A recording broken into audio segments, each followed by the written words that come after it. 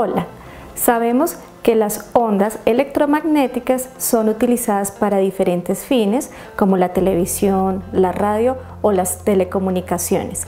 A nivel de la medicina se utilizan hace 75 años para intervenciones quirúrgicas mínimamente invasivas.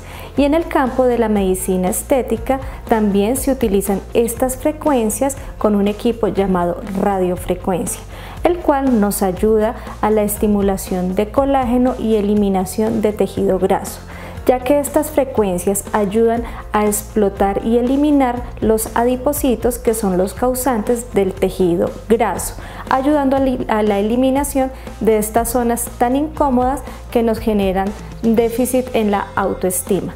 También en la parte de flacidez de piel caída podemos trabajar la radiofrecuencia ya que nos ayuda a estimular el colágeno, las redes de elastina en la piel mejorando todos estos problemas de flacidez.